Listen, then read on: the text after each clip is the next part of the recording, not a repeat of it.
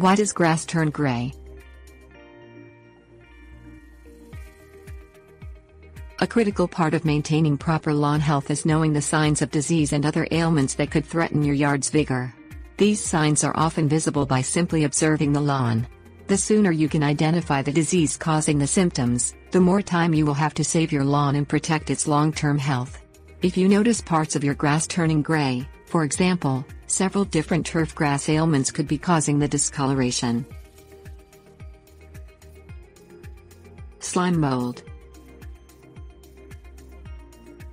Slime molds are one of the most common fungal ailments of turf grass.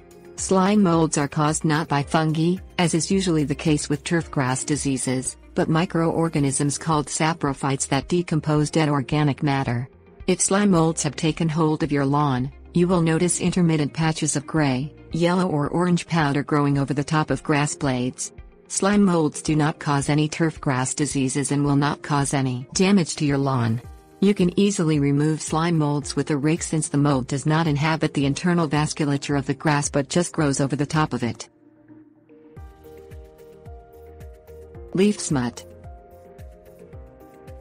There are several lawn diseases that are called leaf smuts, but the two that most commonly infect lawns are stripe smut caused by the fungus Ustilago striiformis and flag smut caused by the fungus Urocystis agropyri. The earliest symptom of leaf smut diseases is gray and yellow discoloration on grass blades followed quickly by stunted new growth.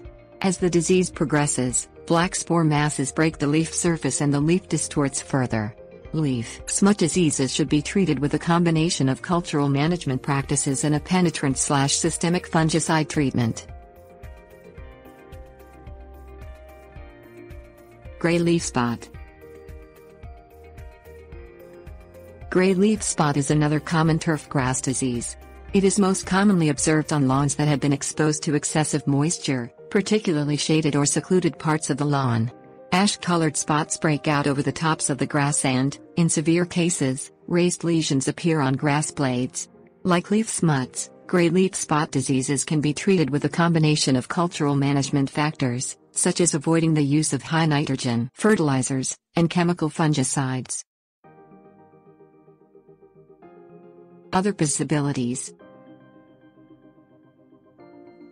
There are a wide range of ailments that can potentially cause grass to turn gray from simple drought stress to diseases that can kill your grass outright.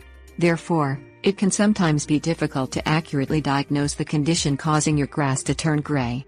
If you do not observe any of the parallel symptoms alongside gray discoloration, a local university extension office can provide a remote diagnosis if you send a sample of the discolored grass.